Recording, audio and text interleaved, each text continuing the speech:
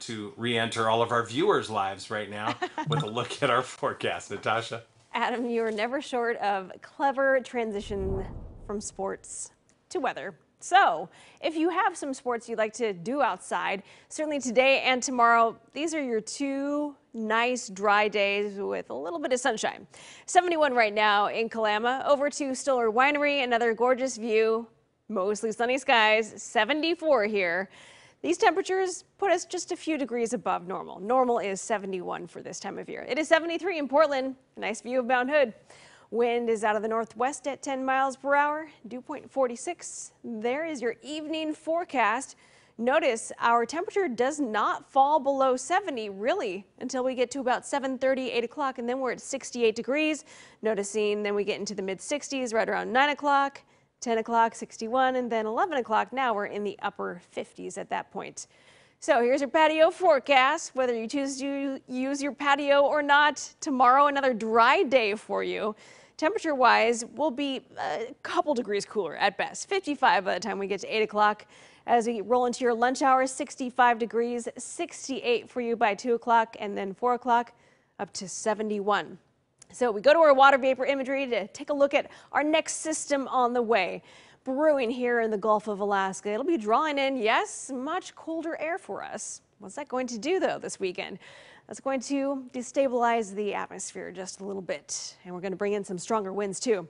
So here we are, we're dealing with a ridge of high pressure. It's a very weak ridge. It's not so strong that we're seeing zero clouds or temperatures in the 80s and 90s. What you'll notice here as we get to the next couple of days, clouds increase, wind speed increases, air gets colder as we roll into Saturday. Uh, so for tomorrow, tomorrow starting off the day with partly cloudy skies. At the coast, you're going to be dealing with the clouds a little bit longer throughout the day. We get to about 10, 11 o'clock, even a chance you could run into briefly some drizzle before those clouds clear. Most of that happening north of Seaside and along the Washington coast. Otherwise, Thursday is a partly cloudy day. Friday, more clouds, and they don't move much. In fact, now we're talking about bringing in pockets of rain here and there throughout the day, starting as early as about noon, going through the afternoon.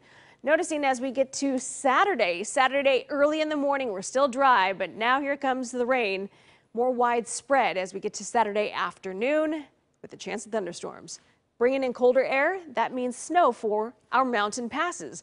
That's right, Snow in June over the mountain passes. It happens, and it's certainly, at least we're expecting it to happen this weekend. Sunday morning will be the coldest point of the weekend. We get to Sunday afternoon and Sunday evening.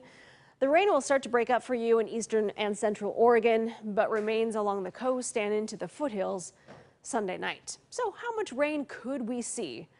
Well, typically when we're talking about this, our lowest totals end up being in central Oregon and eastern Oregon. This time around, different story.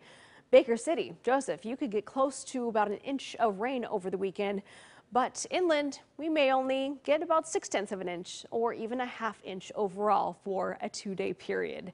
So for that seven day forecast, cooler temperatures, low 60s. We're dropping it off by almost 10 degrees for the weekend with rain continuing through next Tuesday and Wednesday.